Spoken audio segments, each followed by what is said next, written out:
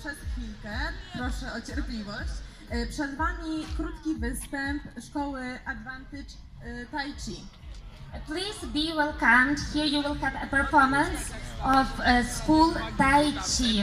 Uh, welcome. Thank you.